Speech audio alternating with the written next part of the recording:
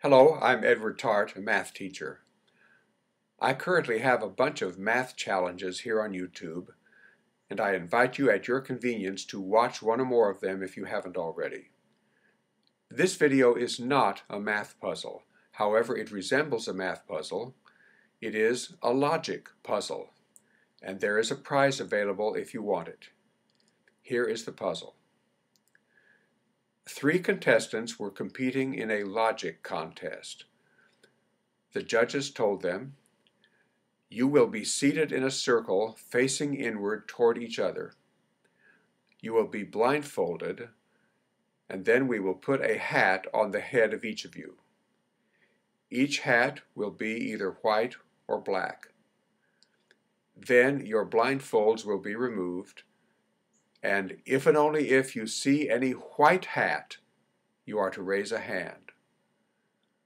Whichever one of you is the first to correctly identify the color of your own hat and supports your statement with sound logic will be the winner. The procedure was then carried out as described. The contestants were blindfolded, and on each head a white hat was placed. Then the blindfolds were removed, and of course each of them raised a hand. Shortly, one of them said, My hat must be white. He explained his logic to the judges. They accepted his logic as being sound, and he was declared the winner. What was his logic?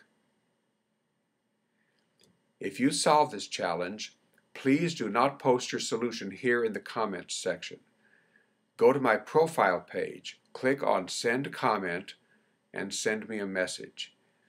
If you are correct, you will be eligible for a prize if you want it. Concerning the prize, I play the piano as is evident from my music videos.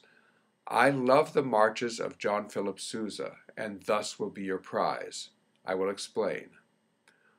One of my YouTube videos is from my piano archives in which I play Sousa's most famous march.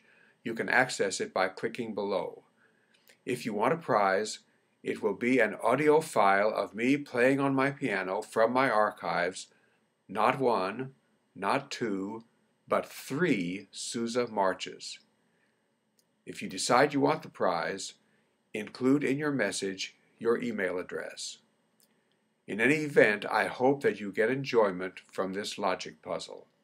And thank you for watching this video.